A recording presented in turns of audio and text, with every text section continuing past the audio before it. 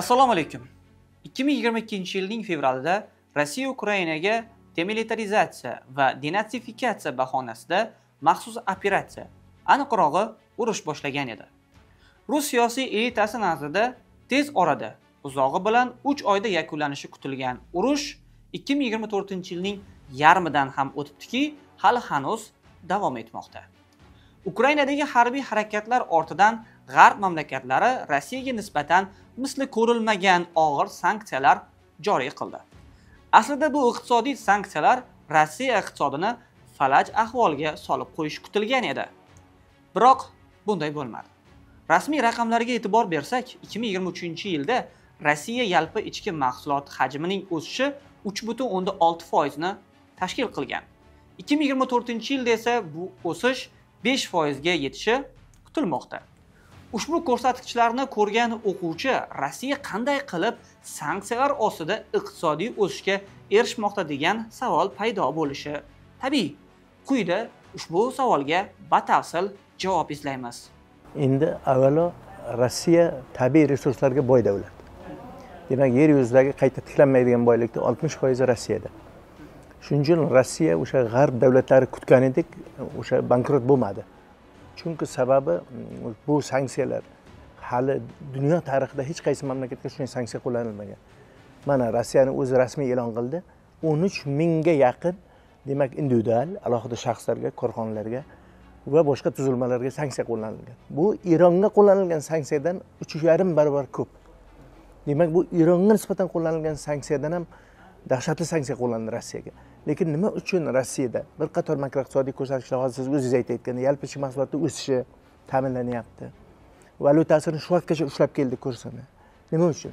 Bu avvalo rossiyani tabiiy resurslarga boy davlat ekanligi bilan bilinadi e, izohlanadi. Rossiya iqtisodiyoti ikkita e, sanoatga ixtisoslashgan buni esdan chiqarmasligimiz kerak. Rossiyani butun oltin valyuta zaxiralari e, buni shakllanishi ko'payishi faqat qazib olish sanoati bilan bog'liq.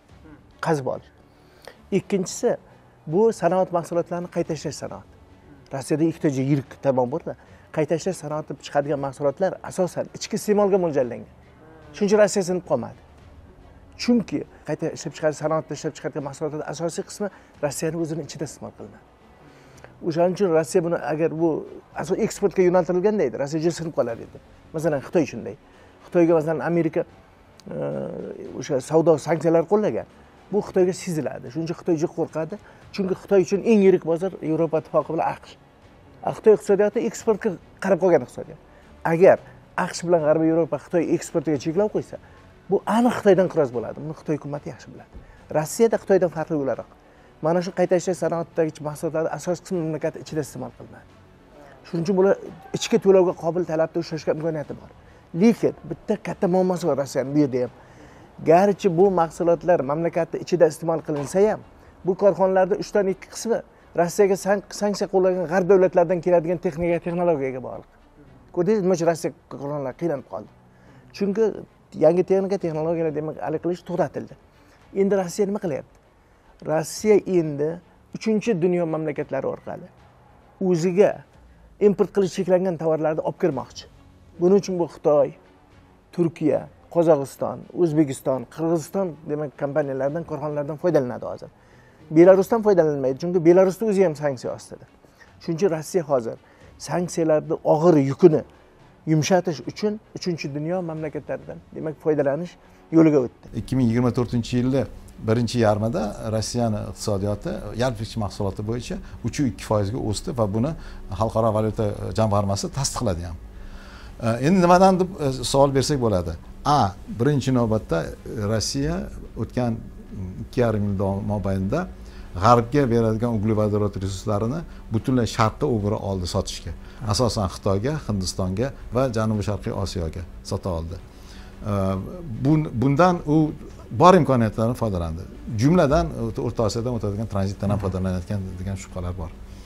Ikkinchisi rossiya sanksiyalarni chetlab o'tishga juda muvaffaq bo'ldi o'ziga satellit bo'lgan mamlakatlar orqali e, bu asosiy ishlab chiqarish vositalarini import qilishni baribir yo'lga qo'ydi va bir yildan keyin u o'z natijasini to'la berdi.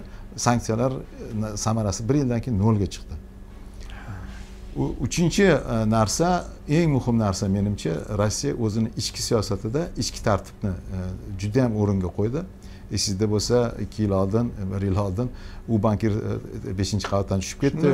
Bu bu haligi katta bir top menejer vpkga xizmat qilardi военно e, nima nima g'alati ahvollarda o'ldi. Qanaqadir o'lib qoldi ha bir e, ikki yuzdan ortiq o'limni ko'rdik top menejerlarni haligi goskorporatsiyada davlat korporatsiyada ishlagan bank davlat banklarda ishlagan. Buni orqasida nima turibdi? Ya'ni davlat mablag'ini o'g'irlagan yoki e, noshaffof joylarga tiqib tashlagan bankirlar hammasi e, o'ldirilgandan keyin hammaga qolib qolganlarga signal berildiki agar sen ham shu o'g'irlikdan ketadigan bo'lsang sen ham xuddi kuning shu bilan bitadi. Shundan keyin davlat intizomi moliya intizomi taqataq joyiga keldi. Birinchi sanksiyalar paketidan so'ng rossiya sanksiyalarga qo'shilmagan davlatlar orqali tezda ta'minot zanjirlarini yaratishning uddasidan chiqdi. Keyinroq ma'lum bo'ldiki cheklovchi choralar g'arb kutganidek samara bermadi.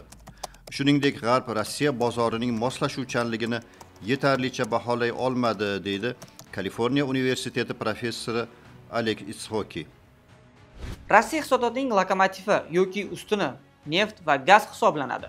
Biroq g'arb davlatlari urush boshlangach rossiyaning nozik nuqtasi neft va gaz mahsulotlariga zarba berishga shoshilmadi. Faqatgina yevropa ittifoqi va g7 mamlakatlari 2022 yilning 5 dekabri hamda 2023 yilning 5 fevralida rossiyaning neft va neft mahsulotlari benzin dizin kerosin neft va mazutga embargo joriy qildi. Bu vaqt oralig'ida ya'ni 2022 yilda rossiya neft va neft mahsulotlarini sotish orqali 321 milliard dollar daromad topishga ulgurdi. G7 Yevropa ittifoqi mamlakatlari va Avstraliya tomonidan Rossiya neftining dengiz orqali import qilinishiga embargo joriy qilinishidan so'ng Rossiya o'zining neft va neft mahsulotlarini katta qismini Xitoy va Hindistonga yo'naltirdi. Endi qazib olish sanoati juda og'ir ahvolga qoldi. Nima uchun? Chunki Rossiyadan eksportni ular to'xtatdi. Rossiyadan eksport qilishni to'xtatdi. Hatto Rossiya Markaziy banki oltin sotolmaydi. Chunki rossiya markaziy banki ham sanksiyalar ro'yxati oltin sotishni ham to'xtatdi ular endi qanday yo'l qoldi? Demak qazib olish sanoati dunyo bo'yicha eksport qilinadigan gazni to'rtdan bir qismini rossiya eksport qiladi. Neft va neft mahsulotlarining beshdan bir qismini rossiya eksport qiladi. Endi eksport to'xtadi. Endi nima qildi bular? Endi bular nima qilish kerak? Qazib olish sanoati butunlay bankrotlikka yuz tutmasligi uchun rossiyaniki. Endi bular uchinchi dunyo ular o'zlari do'st mamlakatlar deydi. Shular bilan savdo aylanmasini oshirmoqchi. Mana xitoy. Xitoyga demak e, rossiyadan eksport qilinadigan gaz neft mahsulotlari hajmi keskin oshdi. Besh barobar deyapti hozir hindistonga judayam keskin oshdi. To'qqiz barobar. Nima uchun? Chunki rossiya gazini neftini asosiy iste'molchisi bu yevropa edi. Demak yevropa rossiya demak yevroga sotaman do'st bo'lmagan mamlakatlarga. Rublga sotaman. Uni holda yevroni o'tkazib qo'ysin bizlar gazprom bankka keyin qilamiz dediku prezident farmoni putinni. Bu ish bermadi men to'g'risini aytayin nima uchun? Demak rossiya yevropa davlatlari rossiyani bu shartiga ko'nmadi. Shuning uchun aqsh bilan norvegiyadan sotib olinadigan gaz va neft mahsulotlari hajmini oshirdi yevropa. Aqsh bilan norvegiya. Mana aytyapti bir yil deyapti rossiya yevropa rahbarlari. Bir yildan keyin biz rossiyaga mana shu energetik qaramlikdan butunlay qutulamiz deyapti. Chunki bularni qutulishiga ishonsa bo'ladi. Nima uchun? Bular aqsh bilan norvegiyadan hozir e, gaz yetkazib neft yetkazib berishni keskin oshirdi. Keyin ikkinchidan qatar bilan jazoir bilan hozir kelishuv ketyapti. Ularda ham juda katta gaz zaxirasi bor ekan. Qatarda ham jazoirda ham. Bular o'shani yo'lga qo'yadi. Demak rossiya buni bilyapti. Demak rossiyaga oltin valyuta zaxiralarini kelishini ta'minlaydigan asosiy manba kanal. Bu qazib olish sanoati. Endi qazib olish sanoatini ular e, qattiq cheklab qo'ydimi? Endi qazib olish sanoatini ushlab qolish uchun rossiya xitoy hindiston bizga o'xshagan o'zbekiston bu kabi mamlakatlarga demak yuz berdi endi. Bu rossiya uchun umid haligisi chirog'i. Shuning uchun rossiya prezidenti kelganda bizni prezident bilan kelishdi o'zbekiston prezidenti bilan. Nima dedi? Rossiyadan o'zbekistonga import qilinayotgan gazni to'rt barobar oshiramiz. Bu bekorga emas. Qarang qanday e, kelishuv bo'ldi. Rasman bu aytildi. Rossiya prezidenti aytdiki o'zbekistonga rossiyadan import qilayotgan o'zbekiston import qilayotgan rossiya gazini to'rt barobar to'rt yuz foizga oshiramiz dedi. Bu birinchi. Ikkinchi qozog'iston. Qozog'iston bilan ham mana shunaqa kelishuvlar bor. Demak rossiyadan qozog'istonga eksport qilinadigan tabiiy resurslar hajmini oshirish haqida gap ketyapti ularda ham maqsad nima? Rossiya demak shuni yumshatish uchun sanksiyalarni og'ir yukini yumshatish uchun mana shu o'ziga do'st hisoblagan mamlakatlar bilan demak savdo aylanmalarini oshirish. Endi qarang. Ikkinchi bir rossiya shart qo'yyapti. Milliy valyutadagi hisob kitoblarni bu rossiya uchun ustuvor yo'nalish rubl milliy valyutada qilamiz dedi. Turkiya bilan deyapti rossiya.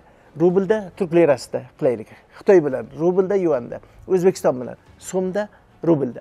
Va hatto moskva valyuta birjasida so'mni sotish yo'lga qo'yildi. Tarixda bo'lmagan. Nima uchun? Rossiya yon beryapti. Sabab agar milliy valyutadagi milliy valyutadagi hisob kitoblar xalqaro hisob kitoblar hajmi oshsa dollardagi yevrodagi hisob kitoblar hajmi kamayadi. Rossiya uchun bu ustuvor yo'nalish. Lekin men doim aytaman biz hozir bunga tayyor emasmiz nimaga? O'zbekistonni oltmish bir foiz tashqi qarzi dollarda aqsh dollari. Biz endi rublni ko'paytirsak rossiya bilan halok qilib tashqi qarz to'lash kerak. U davlat qaysi rublni tan olmaydi. Ya'ni bizdan rossiya rublida tashqi qarz uchun to'lovni qabul qilmaydi. Shuning uchun biz hozircha tabiiy shunga tayyor emasmiz. Chunki biza tashqi qarzimiz rublda bir rubl ham tashqi qarzimiz yo'q. Uni biz hisobga olishimiz kerak. Lekin rossiya prezidenti kelsa ham tashqi ishlar vaziri lavrov kelganda ham toshkentga biza deydi dollardan voz kechishimiz kerak deydi. Yo siz hisob kitob qilib ko'ring. Dollardan voz kechish siz uchun zaruriyat. Nimaga? Sizga dollar yevro keladigan hamma kanal yopildi. Rossiya xalqaro moliya bozorlarini uzib tashlandi. Banklaringiz ham uzib tashlandi. Sif xalqaro to'lov tizimidan. Endi siz og'ir ahvoldasiz lekin siz bizni ham manfaatlarimizni hisobga olishingiz kerak. Bizlar o'zaro milliy valyutada hisob kitoblar hajmini oshirishga tayyor emasmiz. Nimaga? Tashqi qarzimizni to'qson foizi xorijiy valyutalarda ya'ni yetakchi xorijiy valyutalarda. Agar urushgacha yevropa rossiya neftining ellik besh foizini sotib olgan bo'lsa ikki ming yigirma ikkinchi yildan boshlab xitoy ham xuddi shunday hajmda xarid qilishni boshladi. Bu kutilmaganda tez ro'y berdi. Savdo geografiyasi shu qadar tez o'zgarishini va rossiya o'z neftini katta miqdorda yo'naltira olishini hech kim kutmagan edi deydi kaliforniya universiteti professori oleg ishoki. Men masalan bir olim sifatida mutaxassis sifatida aytaman rossiya bu inqiroz holatidan chiqib ketolmaydi. Chiqib ketolmaydi. Nima uchun? Chunki rossiyani o'zi ham bilyapti. Xalqaro mehnat taqsimotida rossiyani o'rni shundayki rossiya o'zini sanoatini rivojlantirish uchun butunlay demak g'arb texnologiyalariga bog'lanib qolgan. Rossiya bu xitoy emas. Xitoy bir ming to'qqiz yuz yetmishinchi yilda shunday bo'lgan g'arb texnologiyalari kesa rivojlangan iqtisodiyot. Lekin xitoy mana shu o'ttiz besh qirq yil ichida ana shu eng ilg'or texnika texnologiyada o'zida ishlab chiqarish imkoniyatini yaratdi. Mana hozir xitoy masalan xitoyga sanksiya qo'llanib qolsa u rossiyada qiynalmaydi. Nima uchun? Chunki xitoy eksportda qiynaladi to'g'ri. Chunki asosiy bozorlari g'arb ular yopadi bozorni. Lekin sanoatini rivojlantirish uchun xitoy bunday qiynalib qolmaydi rossiyada. Chunki u texnika texnologiyani o'zida chiqaradi. U juda katta yutuq xitoyga. Rossiya shuni qila olmadi. Mana davlat mustaqilligiga necha yil bo'ldi rossiyaga? Lekin rossiya ana o'sha texnika texnologiyani eksport qiladigan davlatga aylana olmadi. Mana bugun uni oqibatini o'zi ko'rib turibdi his qilib turibdi. Rossiya sanoatini rivojlantirish uchun g'arb texnika texnologiyalari kerak shunga bog'liq qolgan boya ham aytdim bir sifrani rossiyada demak qayta ishlash sanoati korxonalarini uchdan ikki qismi g'arbdan keladigan texnika texnologiyaga bog'liq. Hozir to'xtadi u. Endi nima qilish kerak? Endi muammo bo'ladi. Shuning uchun rossiya shunaqa holatdagi rossiya bu inqirozlarni uzoq davom etishi rossiya iqtisodiyotini baribir cho'ktiradi. Rossiya banklari swift xalqaro to'lov tizimidan uzilgandan keyin rossiyaga valyuta kirishi ham valyuta chiqishi ham to'xtadi. Chunki dunyoda bitta o'zi xalqaro to'lov tizimi bor swift. O'sha swiftda rossiya banklari uzildi. ikki ming yigirma ikkinchi yil boshida uzib tashlangan xuddi shunday eron banklari ham uzilgan. Bu mamlakatga mamlakatni valyuta munosabatlariga jiddiy putur yetkazadi. Endi rossiya nima qildi? Rossiya endi yetakchi valyutalarni olish imkoniyatiga ega emas. Xalqaro moliya bozorlaridan rossiya chiqarib qo'yildi. Endi rossiyani yagona yo'li milliy valyutalardagi hisob kitoblarni ulushini oshirish. Oldin dollarda to'lagan bo'lsa xitoyda. Endi rossiya aytyapti rublda to'lay deyapti. Siz ham bizga yuanda to'lang deyapti bizni haligiga eksportga. Nima uchun? Chunki dollarda sotaman desa xitoyga. Rossiyaga dollar kelmaydi. Rossiya banklari yo'q sviftda rossiya noilojlikdan milliy valyutalardagi hisob hajmini oshirishga harakat qilyapti. E bunga yordam beryapti xitoy turkiya banklari o'tgan yil dekabrda to'xtatdi. Nima uchun? Amerika ochiqdan ochiq tahdid qildi. Agar rossiyaga yordam beradigan bo'lsa bu banklar rublda hisob kitoblar qilib ularga nisbatan sanksiya qo'llashni ochiq aytdi. Endi u banklar qo'rqadi. Nima uchun qo'rqadi? Agar xitoy banklariga sanksiya qo'llansa eng yomoni xitoy banklarini amerika dollaridagi hamma mablag'lari amerika banklarida saqlanadi. Bu qoida turkiya banklarini aqsh dollardagi hamma mablag' amerika bankida. Amerika kongressi bir soatda to'xtatadi ularni. Bir soatda kongress hamma dollardagi banklarni mablag'larni e, mablag'larini muzlatadi. Keyin bu banklar? Xonavayron bo'ladiyu nima uchun? Chunki eng juda katta rezerv dollarda. Buni tan olish kerak. Xitoyda ham shunday turkiyada ham shunday. Faraz qiling bir kunda dollardagi mablag'dan banklar foydalanmay qoldi. Shuning uchun ular bu e, tahdidni jiddiy qabul qildi. O'tgan yil dekabrda xitoy banklari ham turkiya banklari ham rublda hisob kitobni to'xtatdi. Mana hozir ham muammo. Xitoyga turkiyaga borganlar уже rossiyalik biznesmenlar rublda to'lov qilinmayapti bu g'arb sanksiyalari tahdididan qo'rqqani uchun shunday qilyapti demak rossiya uchun bu imkoniyat ham hozircha yopilib turibdi. Lekin rossiya prezidenti xohlayaptiki rossiya kim bilan hisob kitob qilsa milliy valyutalardagi hisob kitobda ulushini oshirsa dollardagi yevrodagi hisob kitob ulushi pasayadi. Shu yo'l bilan rossiya bu to'lov inqirozidan chiqib ketmoqchi.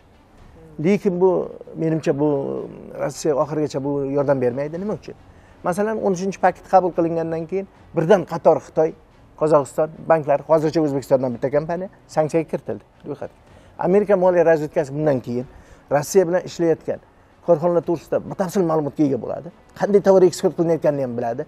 Bu asosan reeksport bo'lishi mumkin. Ya'ni uchinchi davlatlardan rossiya foydasiga ishlaydigan kompaniyalar o'zbekistonda ochib olgan kompaniya qozog'istonda ochib olgan.